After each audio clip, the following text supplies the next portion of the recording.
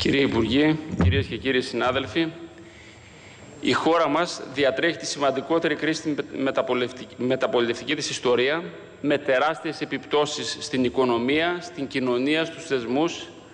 Μια κρίση που όμοιά της δεν είχε γνωρίσει το έθνος μας, ο ελληνικός λαός, οι Έλληνες πολίτες. Οι συνέπειες της κρίσης αυτές είναι ορατές και δυσχεραίνουν μέρα με τη μέρα τη ζωή των συμπολιτών μας εξαιτίας του συνόλου των δυσβάσταχτων μέτρων που έλαβε και συνεχίζει να λαμβάνει η κυβέρνηση του Πασόκ.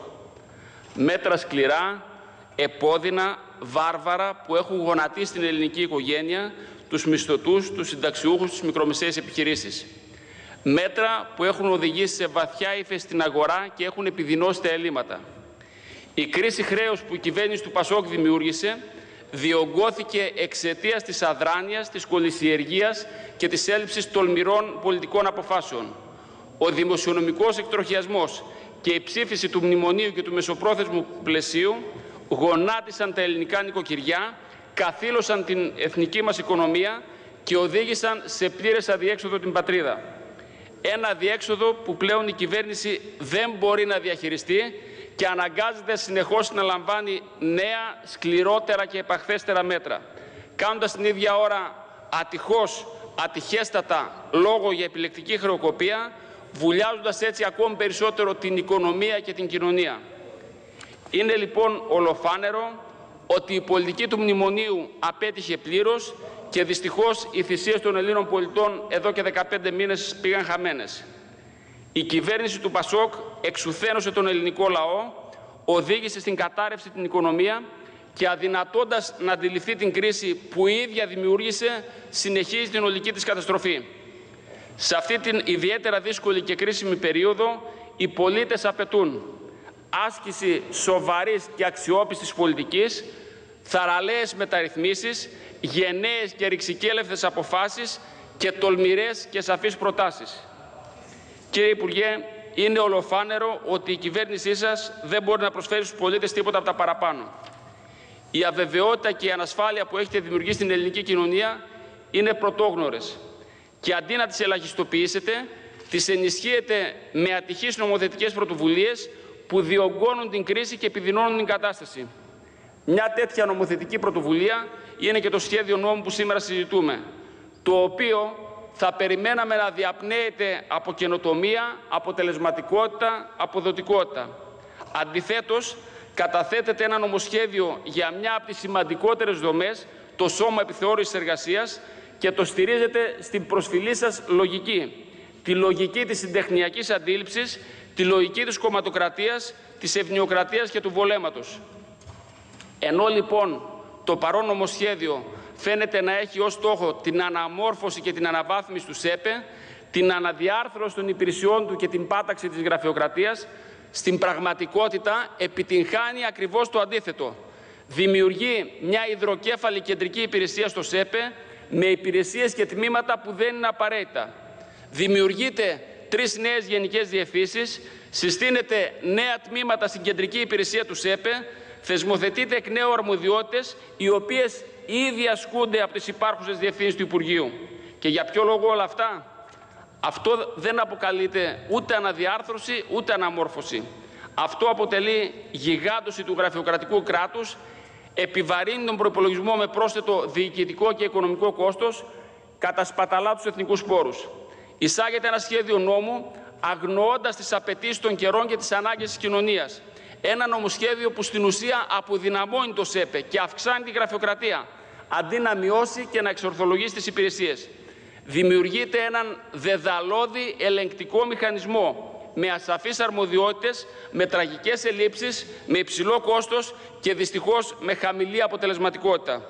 Είναι ολοφάνερο ότι ο στόχος σας δεν είναι η βελτίωση του ΣΕΠΕ, η αναδιάρθρωση των υπηρεσιών του, η αποτελεσματικότητα και η αποδοτικότητα. Σκοπός σας είναι να δημιουργήσετε νέες διευθύνσεις και τμήματα έτσι ώστε να απορροφηθούν οι αρεστοί σας. Δεν αντιλαμβάνεστε ότι είναι περιττοί, ότι είναι δαπανηροί και προκαλούν στην τρέχουσα περίοδο λιτότητας και περιορισμών. Ακόμη, οι διατάξεις που παρουσιάζετε φέρουν αμφιβολίες και υποκρύπτουν, και υποκρύπτουν σκοπιμότητες. Για παράδειγμα, ερωτηματικά προκαλεί η εκπαίδευση του προσωπικού από ιδιωτικά κέντρα εκπαίδευσης όταν την ίδια στιγμή υφίσταται αρμόδια διεύθυνση εκπαίδευσης του Υπουργείου αλλά και Ινστιτούτο Εκπαίδευσης στην Εθνική Σχολή Δημόσιας Διοίκησης. Για ποιο λόγο λοιπόν αναθέτεται την εκπαίδευση των επιθεωρητών σε ιδιωτικούς φορείς, δεν μπορούν οι δύο υπάρχοντες φορείς να αναλάβουν αυτό το έργο ή μήπως κάτι άλλο υποκρύπτεται; Ακόμη, εισάγεται το θεσμό του συμφιλιωτή όταν ήδη υφίσταται ο επιθεωρητής εργασίας. Αυτό που έχει πραγματικά ανάγκη ο επιθεωρητής είναι η ενίσχυση και η στήριξη του ρόλου του και όχι λεκτικές κορώνες και φραστικά πυροτεχνήματα που δεν προσφέρουν τίποτα. Ενώ λοιπόν σήμερα οι ελλείψεις που παρατηρούνται στο ΣΕΠΕ είναι τραγικές, εσείς δυστυχώς εισάγετε τίτλους καινούς περιεχομένου. Καινού, καινού περιεχομένου. Το σώμα στηρείται των στοιχειωδών, αδυνατεί να ανταποκριθεί στις υποχρεώσεις του, με αποτέλεσμα η αναποτελεσματικότητα και η υποβάθμιση να διευρύνονται. Αντί να βελτιώσετε την κατάσταση, κύριε Υπουργέ, γιγαντώνετε ένα μηχανισμό, δημιουργείτε νέες θέσεις και τμήματα και επιδεικνύεται απραξία για τα υπόλοιπα. Αγαπητές συναδέλφοι, αγαπητοί συνάδελφοι, αδυνατούμε να στηρίξουμε το παρόν σχέδιο νόμου, διότι στερείται αξιοπιστίας, είναι ανορθολογικό, επιτείνει αντί να περιορίζει τη γραφειοκρατία, κινείται πέραν των κανόνων της εργατικής νομοθεσίας, δεν προάγει την ευελιξία, την αυτονομία και την αποτελεσματική λειτουργία των επιθεωρήσεων και τέλος σπαταλά πολύτιμους πόρους. Το πλήθος των γραφειοκρατικών και ατελέσφαιρων αυτών ρυθμίσεων δεν μας βρίσκει σύμφωνους. Η πρότασή μας, η πρόταση της Νέας Δημοκρατίας είναι σαφής και ξεκάθαρη. Το ΣΕΠΕ οφείλει να είναι ο πιο ευέλικτος μηχανισμός με λιγότερες γραφειοκρατικές διαδικασίες και εμπόδια. Η αναδιάρθρωση των υπηρεσιών του μέσω της εδραίωσης ενός πλήρους και ενιαίου πληροφοριακού συστήματος με την κεντρική υπηρεσία του Υπουργείου, το ΙΚΑ και τον ΟΑΕΔ είναι άμεση και επιτακτική ανάγκη. Οι επιθεωρητές εργασίας πρέπει να έχουν υλικοτεχνική στήριξη έτσι ώστε να ανταποκριθούν στο ρόλο τους αλλά και να ολοκληρωθεί επιτέλους η κωδικοποίηση της εργατικής νομοθεσίας για μεγαλύτερη αποδοτικότητα στο έργο τους. Δεν αποτελεί λύση η δημιουργία νέων θέσεων, τμήματων και διευθύνσεων, αλλά η αξιοποίηση του υπάρχοντος προσωπικού. Τελειώνω σε μισό λεπτό, κύριε Πρόεδρε. Κύριε Υπουργέ, το σύνολο των κανόνων της εργατικής νομοθεσίας και το πλήθος των εργασιακών και ασφαλιστικών δικαιωμάτων των Ελλήνων πολιτών, αλλά και οι ίδιοι οι Έλληνες πολίτες, απαιτούν την εδραίωση ενός ισχυρού ελεγκτικού μηχανισμού που θα προσβλέπει στην πιστή εφαρμογή και τήρηση των παραπάνω.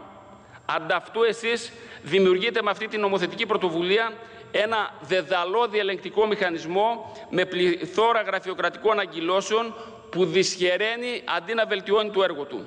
Δεν αναμορφώνει, δεν αναβαθμίζει, δεν αναδιαρθρώνει τις υπηρεσίες του. Κινείται μακριά από τους στόχους που θέτουμε και διωγγώνει το κράτος αντί να το εξορθολογίζει. Σπαταλά πόρους και επιδεινώνει τα δημόσια οικονομικά. Κύριε Υπουργέ, αναθεωρήστε όσο είναι δυνατόν, όσο είναι νωρίς, βασικές διατάξεις του παρόντος σχεδίου νόμου. Αλλάξτε τη φυσιογνωμία και το σκοπό του. Ιδάλλως, πολύ φοβάμαι ότι με το παρόν νομοθέτημα θα πιστωθείτε άλλη μια αποτυχία ως κυβέρνηση. Σας ευχαριστώ.